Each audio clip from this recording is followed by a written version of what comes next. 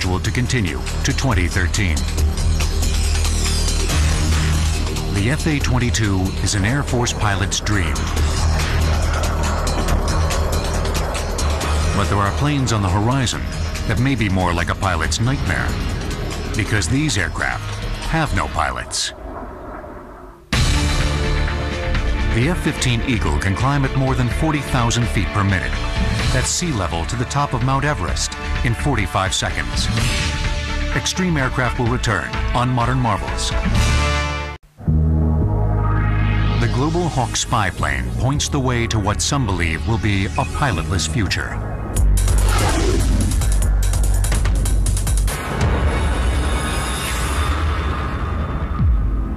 This UAV, or unmanned air vehicle, was seen in action by millions thanks to TV news coverage of its surveillance missions in Afghanistan and Iraq. The Global Hawk can conduct effective surveillance over an area the size of Illinois in just 24 hours. It can also loiter above a specific area, transmitting almost real-time high-resolution images to field commanders. 44 feet long and 15 feet high, the high-altitude reconnaissance aircraft was built for the Air Force by Northrop Grumman. Global Hawk is an autonomous air vehicle.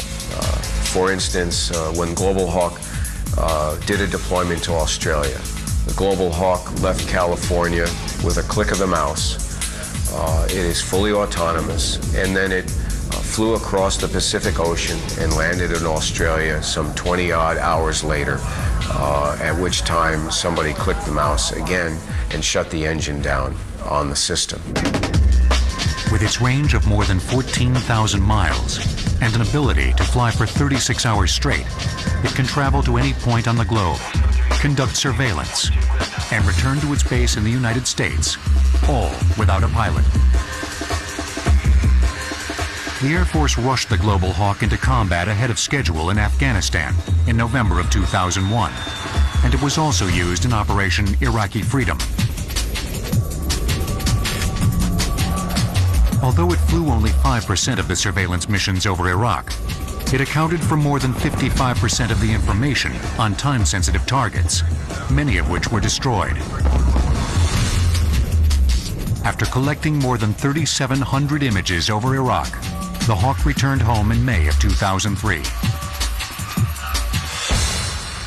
Air Force officials said the Global Hawk was over Iraq from the very beginning of the operation and had a direct impact